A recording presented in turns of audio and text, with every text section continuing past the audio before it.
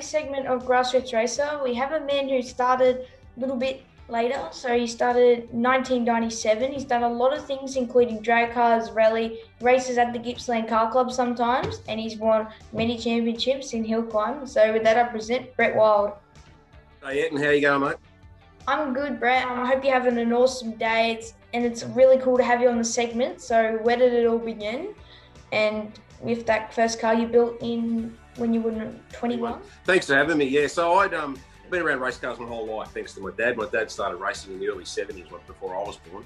And I've worked on other mates' cars and done bits and pieces. And a good mate of mine, I've done a heap of work on his car with him, asked, him asked me to come out and you know do a bit of a test day with him and sort of see what I thought about how his car was progressing and that. And I went out and had a go at it at Sandown, and I thought this is pretty cool. So um, then I hunted around and got a car, car of my own and spent about eight months building it and um, been racing that ever since. So the first race car I ever built of my own was 1997, and I've still got that car, and that's the car I still race now. So I've been racing that now for nearly 25 years.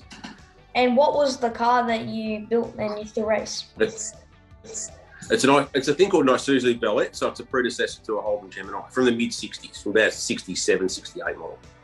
So yeah, that's very old. Did you? Where did you actually find it or buy it from? Well, I'd had I bought my first one of these when I was 15. I just did it up as a road car. Um, you know, had been working two jobs as a kid after school and had a heap of money in my pocket. And um, my dad had had them back in the early 70s before I was even born as, as road cars. My dad rallied a bit as well and did some other stuff. And um, yeah, when I wanted a car, Dad said, "Oh, I've got some, still got some parts in the shed for a Bellett. We should find one of them." So we found one of them, and I had it as a road car. And then I've just sort of progressed from there. I thought, well, I've got one as a road car. I've built one as a race car. So I found one of these things through some other mates, and then yeah, just sort of went from there. Just built it all in the shed at home, and yeah, been having fun with it ever since.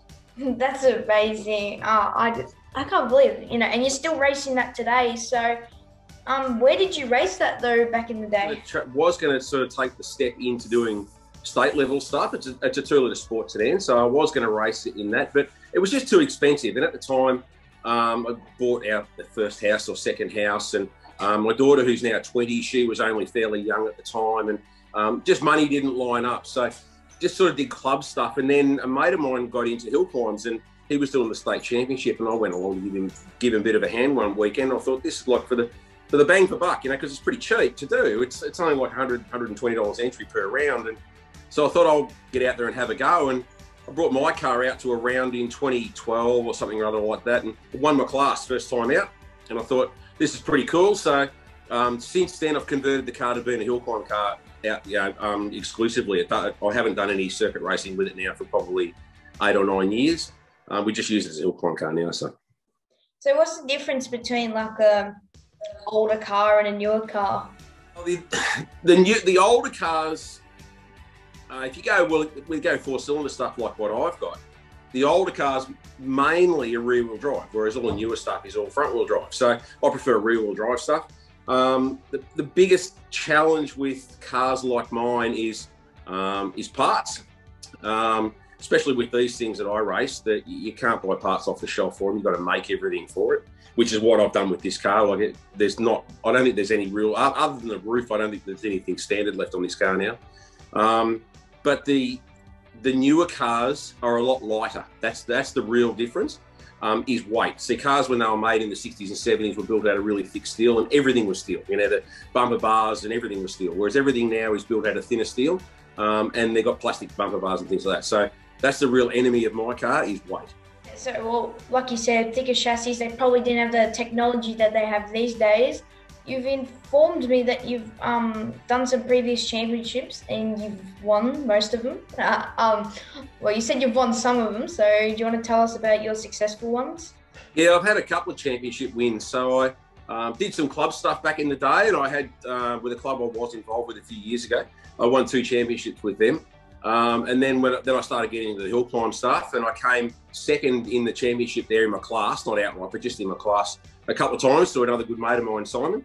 Um, I got a bit sicker coming second, so um, I made a big push at it in 2018 and won the championship. There was seven rounds that year. I only ran five of them, and I won all five, um, and um, and won the championship that year. Didn't race 2019.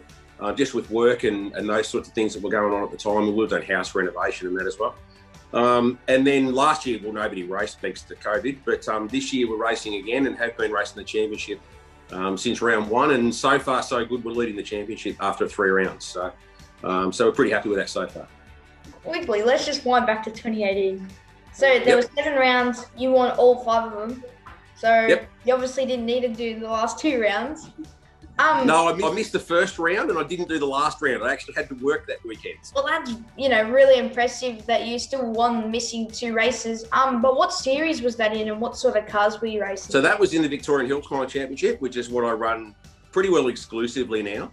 Um, and was, was racing my Bellett, and we're up against um, well Gary, who you had on last week with his really really fast little escort. Um, Simon's got a, another guy I know. Simon's got a Datsun 1600. Um, and a couple of other guys. You know, there's a guy that sort of comes and goes every now and then with a Holden Gemini and a few other cars. So they're, they're all sort of similar cars. So they're all sort of similar layouts and um, similar ages and that sort of thing as well. So, um, so in that respect, it's really good. So, and the one thing I do like about the Hill Climbing Championship is uh, you get to meet some really cool people. I mean, the, the, cars are what brings us to the track, but the people are and the relationships you build with people are, are pretty cool. Um, and and we go along to these to these events and just have a really good time together. Really, we have a good laugh and a good joke, and we all sort of rib each other and get stuck into each other when one of us stuffs up a lap or whatever else. So it's it's, it's a lot of fun. Yeah, well, that's why I love racing. One, it's what I want to do, and two, it's it's very enjoyable when you've got um, competitive racers who, when they get to the track, they're there to race. But you know, when you take the helmet off, you can shake hands and be all friendly. You know, that's the relationship I, I sort of love in the paddock. So, with this 2021 championship, where did you race the first round? First round was at Rob Roy in Christmas Hills. Um, the second round, unfortunately, was postponed. That's now going to be in September. That was supposed to be in February, but that, that was postponed because of the, that quick lockdown that the government brought in in February. Um, round three was at Camperdown, at Mount Leura at Camperdown. Um, and then round four was down at Bryant Park at Gippsland, where um, I believe you're going to have a run one of these days soon as well yeah, I'll try and get in there, and um, hopefully I'm in the same class so I can, I don't know, give a give it a run to you and Gary. yeah, absolutely. So you can beat Gary, mate. You got to beat him. He's the one we've all got to beat, all right? Brett versus Gary. This is interesting. You're both on the show. yeah, it's pretty cool. We get we get along really well. Actually, Gary's a good mate of mine, and I've actually done work on Gary's car for him as well. So it seems that I sort of do a bit of work on different people's cars, and then they go out and beat me. But anyway, that's all right. You are you and um Gary like Hunt and Lauda? You know, always switching between championships. Is that sort of how it is? Oh yeah, Gary's won more championships than, with, than me. He's won an Australian championship as well. I've only won a Victorian championship, but um, but yeah, if, if Gary's not beating me, I'm beating Gary. It's yeah, we sort of the two of us have a good, a pretty good fight sometimes. It's pretty cool. No, no, you you both have been very interesting to talk to uh, so far, Brett. You've also restored some cars. So have you raced any of them that you've restored? Um, I raced one of my dad's. My dad's still got a couple of race cars. He's got a, um, a thing called a Bolwell that he, he bought as a 19 year old kid in 1968 and he's still got. Um, and he's got an, a 1982 um, XE Falcon that's this, got this thumping great 351 V8 in it and stuff. And I've done a lot of work on that. I've raced that a few times. Um, I haven't driven his Bolwell though. I think he thinks I'm too much of a kid still to sort of have a go in that. I don't think he's going to give me a go in that one. Um, but I've, I've restored a few road cars, and um, I've still got, I think I've got five or six cars at the moment in the shed, and, um, and I've got one that's actually unrestored. That's an original um, Bathurst race car from 1966. You Telling me about that, and it seemed really interesting. Do you think that you could ever get it together and race it, or if you you know it's not possible, would you love to race it? You know. Well, funnily enough, the car found me, and I was actually going to build it um, to do Group N racing with it, with you know, historic sports sedans, uh, historic um, touring cars. Um, and I found the car, um, not knowing what its history was, and was going to actually think about building it as a race car.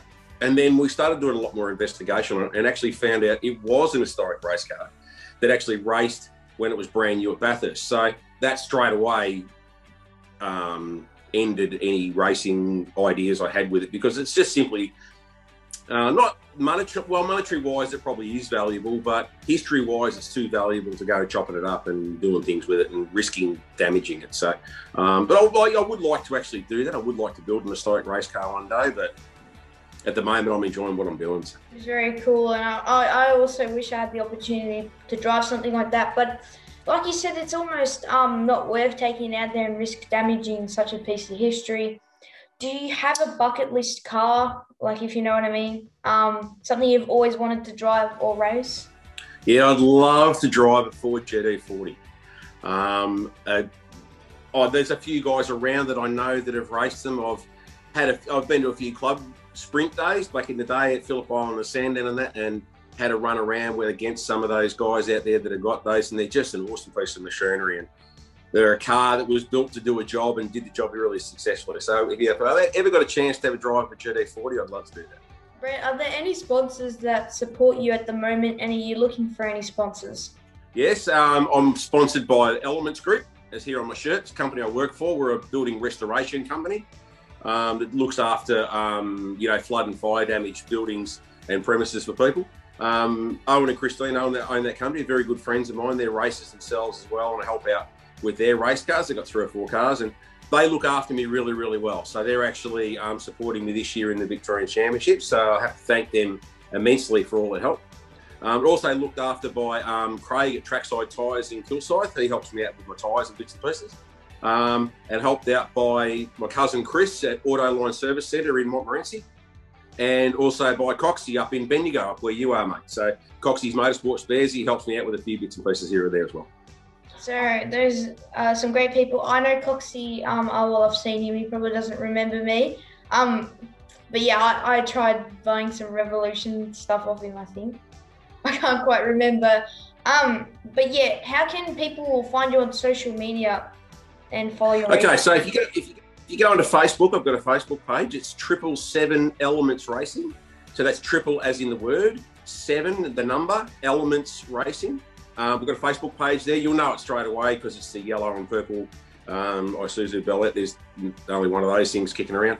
Um, but yeah, that's that's the main media we use. It's just we just sort of do a few updates here and there on Facebook.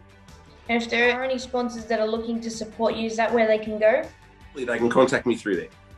All right. And lastly, how long have you been a member of the Gippsland Car, Car Club for? I've been a member of the Gippsland Car Club now for about eight or nine years. Um, I thoroughly recommend them if anybody's looking for a car club to get into and go out and doing some some proper grassroots level motorsport. Get onto Gippsland. Gippsland um, are a fantastic club. They're well run. Uh, they're a very family based family based club as well. They own their own facility down there at, at um, Newborough, down near Moe. Um, it's it is very simply and widely regarded as the best permanent hill climb, hill climb facility in Australia. Um, they run days down there for club members um, as in club member only days for entry fees as cheap as fifty dollars. Um, so I thoroughly recommend it. It's yeah. People say that motorsport is expensive. People motorsport is only as expensive as you want it to be. If you want it to be cheap and just go out and generally have some fun, you can be out on the track for less than a thousand dollars, right? And and the best way to do it is hill climb. And I, like I said, I thoroughly recommend Gippsland Car Club Just before we go, have you got any words to say to Gary? Because I'm I'm gonna be the the news reporter um, here in the situation. You got any words for Gary because you seem to have a, a, bit of a friendly rivalry. So have you got anything to say to him before the next race? I think if I was Gary, I'd be very scared.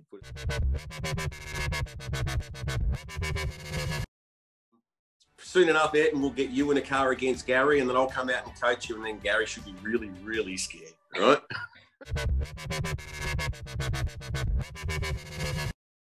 Gold. All right. Um, that's been today's episode of Filippin Mad's Grassroots Races segment. Thank you, Brett, so much for having a chat to me. Thanks to everyone who watches and listens to Grassroots Racer. And just before this, this has been an absolutely funny as episode. Not only has my backdrop dropped three times, Brett is so funny when he talked about Gary because their relationship is so good and um, got a bit of a rivalry. Yeah, uh, absolutely. Uh, yep. Drive fast and take chances, everyone. Thank you so much for listening.